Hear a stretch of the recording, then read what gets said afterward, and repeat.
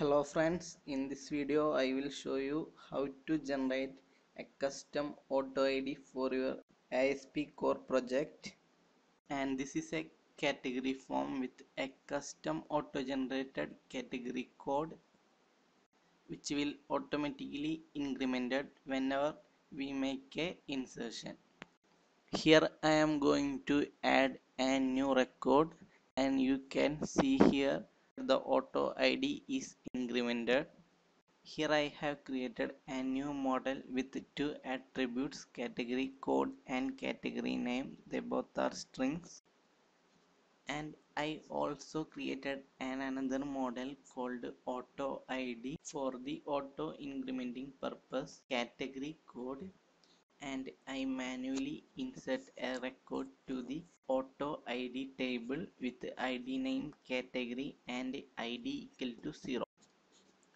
This is our controller and here I created a constructor and I inject my application DB context for the database access and this is our index action and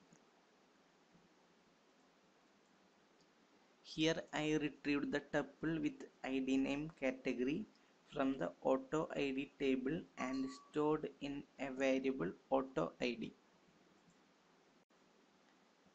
I am not going to bind our view directly to the domain model. For that purpose, here I have created a data transfer object. Instead of data transfer object, you can use a view model as you like and the DTO category is a replica of our domain model category. Now return to the category controller and here I created a new DTO category object and initialize its category code field.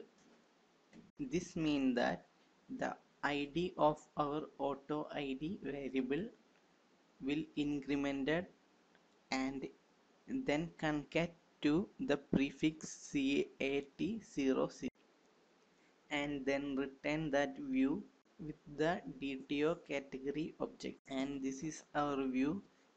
And here I imported the data transfer object model and then bind it to the text boxes here I bind the category code with a text box and the category name with a text box and it's all over now and in the next video I will show you the full CRUD operation in the ASP Core 2 project.